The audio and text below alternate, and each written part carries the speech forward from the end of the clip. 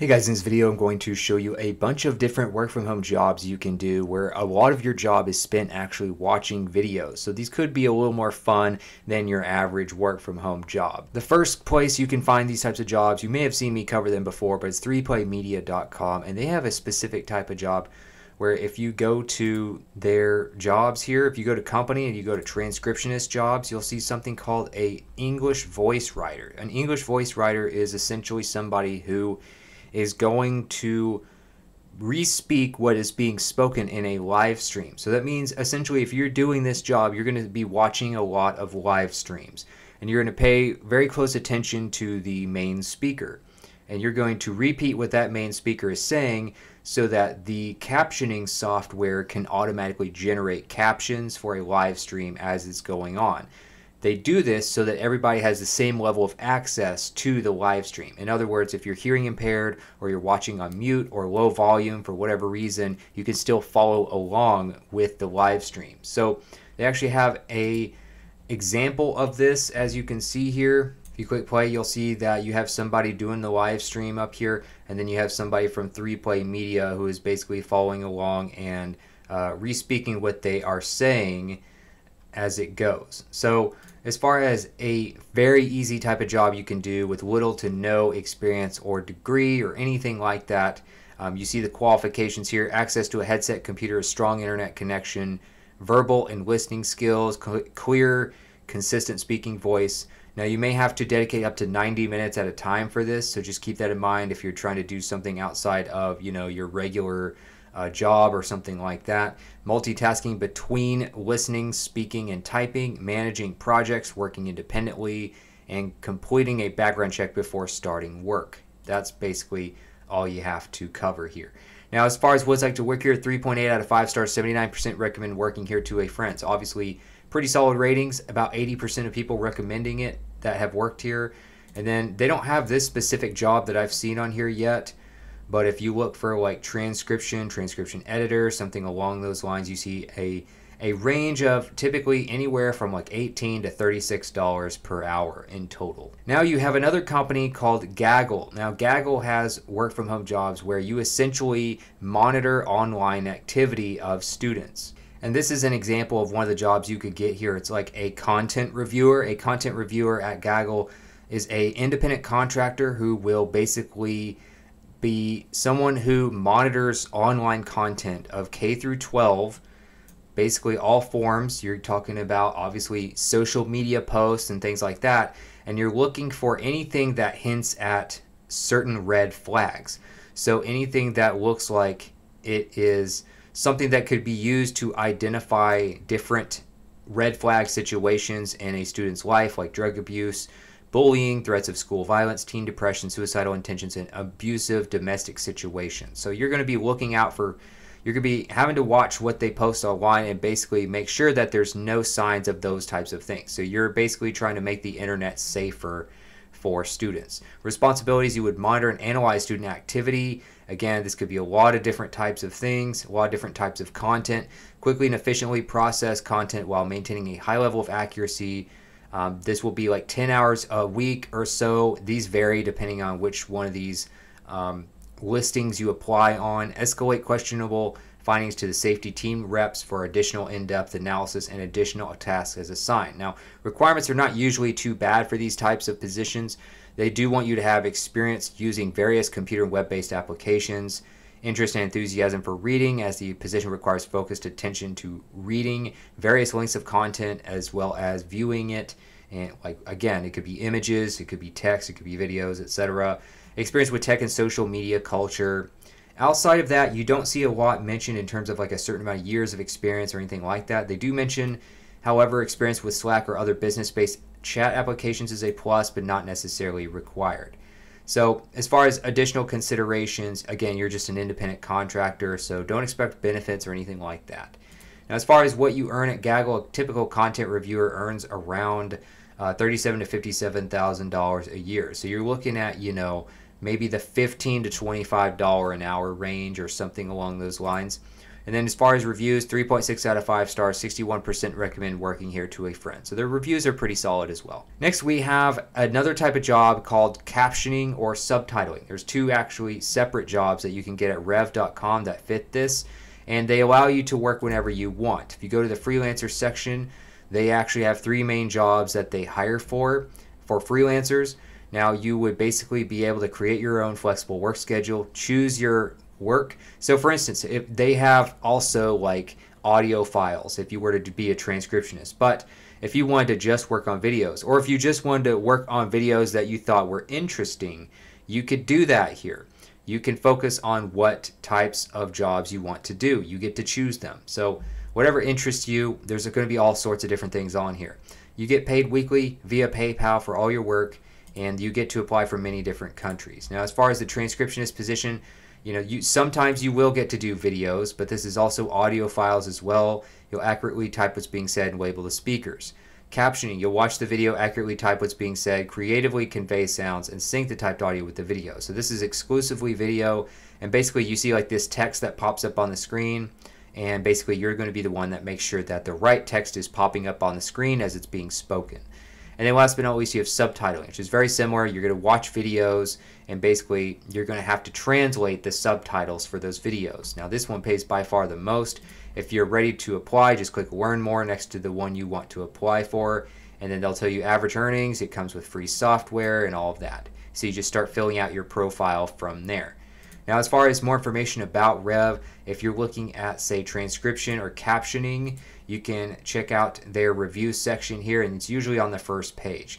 You see that most of them pay very similarly. If you look at, you know, the actual rate of how they pay captioning versus uh, transcription, you see that the rates are very similar. Maybe the the low end is is not as low on captioning, but otherwise it's about the same on the high end and you're looking at looks like you know the lower 20s to maybe the mid 20s if you if you factor in all of them could be any, anywhere from 15 to around $30 an hour now if you look at say subtitling they have a range now i know this isn't hourly for whatever reason they don't do hourly when you ac- actually click on a specific one but 52 to 80,000 a year you're looking at you know possibly up to around you know, I believe that's $38 per hour if you were to do 80,000 a year and divide that by, you know, how much that would be per hour. So you're looking at some decent pay here. And then as far as reviews for Rev, you see 3.6 out of 5 stars, 61% recommend working here to a friend. So they have solid ratings as well. Now, you also have a company called Daily Transcription. Daily Transcription is a place where you can find all sorts of transcription, subtitling, captioning, and all sorts of other types of jobs like that. And they actually have listings. That's the nice thing about them is instead of having just a freelance page where everybody signs up the same way and you just join a talent pool, which means the more people in the talent pool, the more everybody's having to divide up the available work. With this one, they actually hire you for certain listings, so you know what's actually active right now. Um, general transcription is one you can do here. And again, many transcription jobs, they allow you to watch videos and you're going to basically type what's being said, label the speakers. Some YouTubers even use transcriptions and upload them to, to make their um, videos more clear to people and maybe audiences around the world that maybe speak different languages or something like that. But as far as the transcription section here, and pretty much all their jobs, they hire mostly in the US, Canada, United Kingdom, and New Zealand. So if you're one of those countries, you should be able to apply here. Now, relevant skills they look for for transcription. Again, this is general transcription. Usually they want around 50 words per minute. Uh, typing speed, this is something that's pretty universal across all their jobs. So if you have at least a 50 word per minute typing speed, great. If you don't, you can train that up at uh, typingtest.com, which is basically a free website where you both check how fast you can type and also improve it. Now, you all, you have basically uh, 10 to 30 hours a week. You know, they do want a little bit of experience for most of their jobs here. You are still a contractor, which should give you a lot of flexibility with your schedule. And the, the pay is a little unclear as far as like how, what they actually mean by this. 45 to $66 per I don't know if that's per page an hour or per audio hour of material or what that is exactly. But as far as how this goes, you know, you're looking at some jobs where you might get paid fairly well. It's just it's I'm not exactly sure what this P per hour uh, means though. So I'll have to basically just show you some reviews here in a second. But they also have AI editor positions. I don't know if you'll be watching a lot of videos with that though. Medical transcriber, subtitling and captioning. So they have this as well. I know I already kind of covered what you do in these jobs, but this is another place where they can sometimes have different subtitling and captioning jobs where you'll watch videos, you'll have to type what's being said, you'll have to make sure that the captions or the subtitles pop up on the video as it's being spoken. So there may be a little bit of editing involved, but most of this type of stuff is video related when it comes to subtitling and captioning. And then this is one to 10 hours a week, two to three years of experience, and 50 to $80 per hour of material. So you see that's a little bit different per hour of material. And that might be what they mean by most of these. But uh, Weagle transcriber, I mean, maybe you'll have some videos in there. You have the general Spanish related one, broadcast list transcriber, combined continuity and spotting list transcriber, dialogue list transcriber, lots of different ones available here. Now, as far as what it's like to work at Daily Transcription, they have 3.7 out of 5 stars. 51% recommend working here to a friend.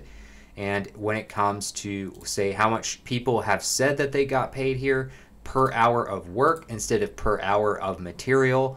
They're saying basically that they earned anywhere from around 17 to looks like about 27 $28 an hour. You see $33 an hour in that ballpark. So you're looking at what could be up to around the low 30s in pay according to reviews. Next, we have something where you're going to do mostly watch ads and you're going to make sure that the ads are they look right, they are relevant to what's being typed in search engines and things like that. Now, TELUS International, this is a company that has worldwide, or they have jobs around the world. They don't necessarily have a listing that's just for anywhere in the world like some companies do that you may have seen me cover but they do have listings in different countries throughout the world. They have a separate listing per country, is how they do it. So I'm showing you the US version just as an example because I'm located in the US, and I know a lot of you are as well. But they have these outside the US as well, so you're not limited to just the United States. But a personalized ads evaluator, it's going to be called different names. So sometimes the one outside the US is called a slightly different name,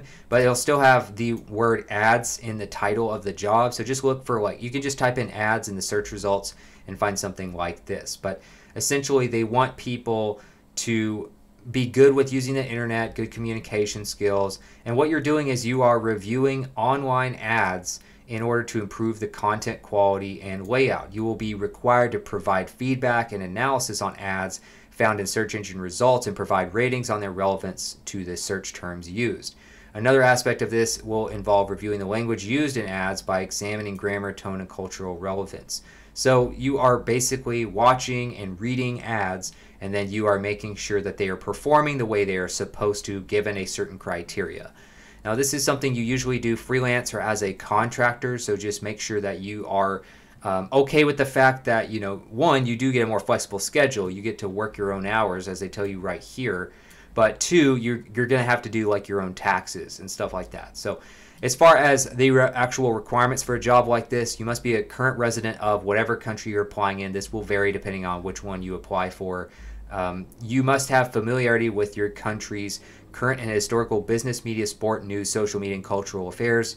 You also need to have full proficiency in this one. They do want English. I don't know if it's all going to still require English. A lot of times they do, even if it's another country. And then they'll also have you basically speak the the main language of that country as well. But sometimes you may even just speak one language and it might be just you know like for instance if you are applying in like spain you might just need to speak spanish. I'm not sure if they'll still require english or not. Depends on the country.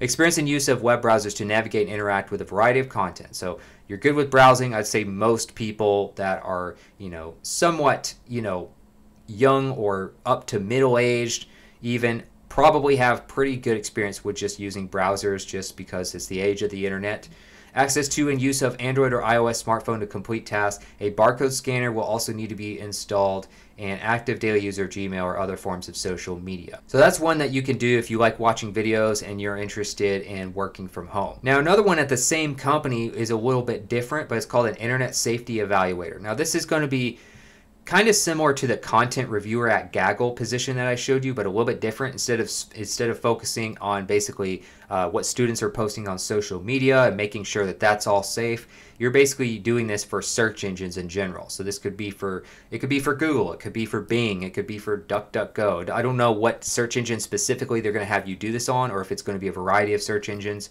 But essentially, your job is to help make search engines safer, make sure that search results are you know safer. You know sometimes um, they'll have you know certain search results. You have to like agree to see them if you are about to view something that's maybe uh, a little bit more adult oriented or basic or something that is kind of a sensitive topic or something like that.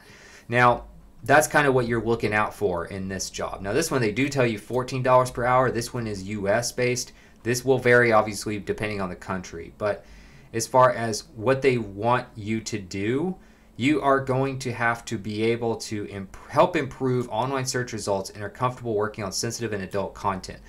A very important aspect of this role will involve reviewing the content of potentially upsetting or offensive material to make internet browsing safer and more secure to all viewers. So, you are going to basically make the internet safer and more secure to the average audience um, and make sure that this stuff is not where it's not supposed to be, like sensitive and adult content. So, again, this could involve videos, text, images, GIFs, all sorts of things.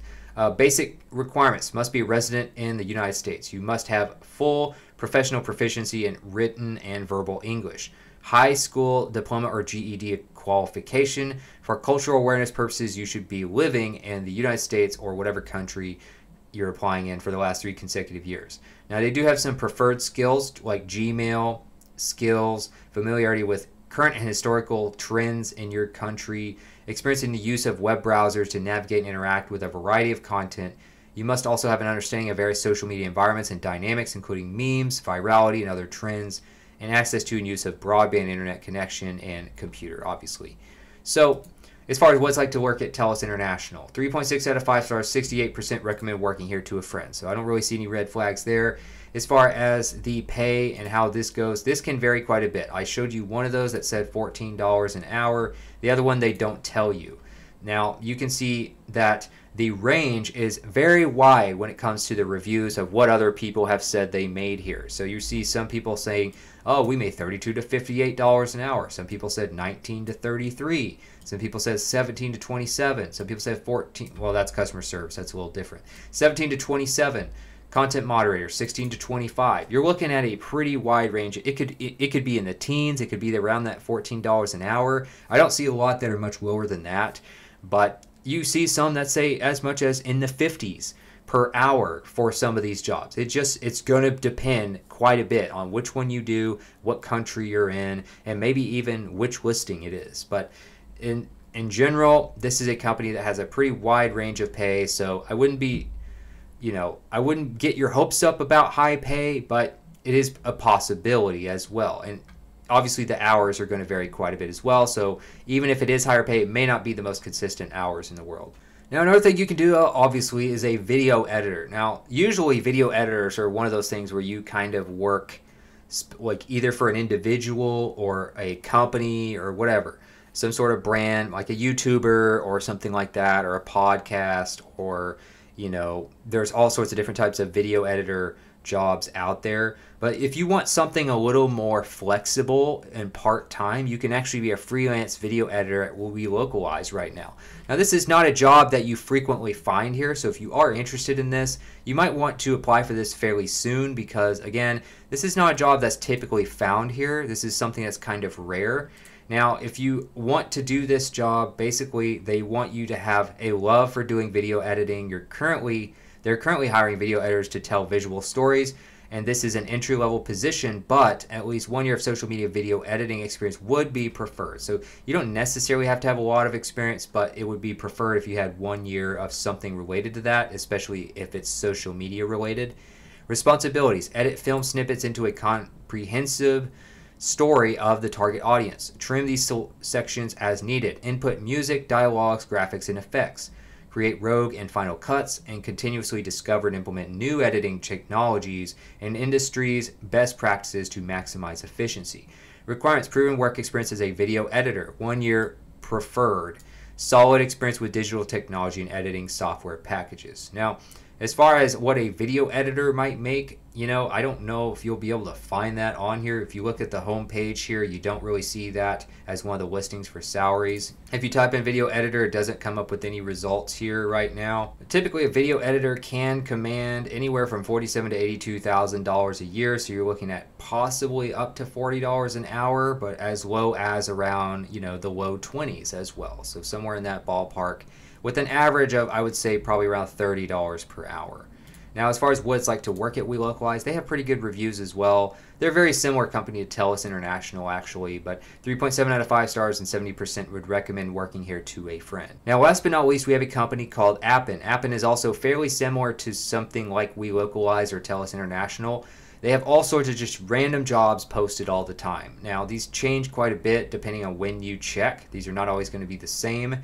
So if you do see something you like, you might want to pounce on it, is what I'm basically saying. But if you go to the social media section of their jobs page, a lot of times you can find these contractor positions where you're a social media evaluator. Now, these are going to be very similar to like a search engine evaluator or an ads evaluator kind of like I showed you earlier. Now, I don't see any in the United States right now, so if you're trying to get one in the United States, it looks like you may be out of luck right now for this particular type of position. But I know I get a lot of views from around the world as well, so you may see your country on here. And if you do, you might want to, again, apply for this as soon as you can, just because this this type of job, you never know how long it's going to be around. So if you were to click on one of these, like I'm just going to click on the top one just as an example, a social media evaluator, basically what you're going to do is you're going to elevate the standards of information shared on social media. And basically you'll play a pivotal role in shaping the quality and credibility of information online. So if you are passionate about promoting trustworthy content in the digital space, this might be for you. You will review and evaluate posts on various social media platforms. So obviously we know that social media is dominated a lot of times by videos and images, but also text as well. So you're going to be looking at a variety of content. If you like watching videos, great. You'll probably see a lot of them on here. And especially if you're like someone who likes to just kind of mindlessly scroll through social media and just see what's going on in the world, this could be a really fun job for you. You also identify and analyze the quality of information shared. So you're going to look for anything that looks like it's untrustworthy. And you're going to provide constructive feedback to enhance the content credibility from there. This one, $20 a week or 20 hours per week. Operating a social media account, you'll access obviously you'll need access to internet. This one they want you to be bilingual. This may this will vary depending on which one you apply for. Good research skills. Now this one says $3 an hour. Now obviously that sounds really low depending on where you live. But this is also in uh, looks like Libya. So I don't know what the scale is in terms of how far $3 per hour would go because $3, of course, that is in US dollars. I don't know how far that goes in Libya. If the cost of living is a lot lower in Libya, that might be fine. That might not be bad. If that's you know, if you're getting paid three dollars an hour in the U.S., you wouldn't be able to do much with your time here because the cost of living is kind of high. So it just depends on where you live, of course, whether or not that's good. Now, this is obviously going to vary depending on where you apply. Like here's another one. You can look at the pay here. This one's five dollars an hour. So you know, it just it's going to depend on where you live. Um, as far as pay goes. But I'm sure they they base that on the cost of living or or whatever like the minimum pay is or something along those lines. I'm sure they have cert, certain ways of calculating what makes sense to pay for these jobs uh, depending on your country. Um, based on you know like i said cost of living what the minimum wage might be in those countries or things along those lines also they're going to factor in the fact that you do not have to have really any experience or special skills to do these types of jobs so you, I wouldn't expect a lot of pay no matter what country it is. But as far as reviews, 3.5 out of 5 stars, 64% recommend working here to a friend, which is also some pretty good reviews as well. If you want to know how much some of these might pay in the United States, most of these reviews are US based, but just to get an estimate here. If you were to find one in the United States, you see a social media evaluator. This one says 16 to $25 per hour with an average of around 20. So hopefully this was an interesting video for you. Hopefully you got a few ideas from it or maybe some jobs you want to apply for. If you thought this video was actually helpful, please click the like button. It really helps me out. It helps me know that this is a good subject to cover for people at this channel. And also don't forget to leave a comment if you want to ask me a question or suggest something for future videos. And outside of that, I'll see you in the next video.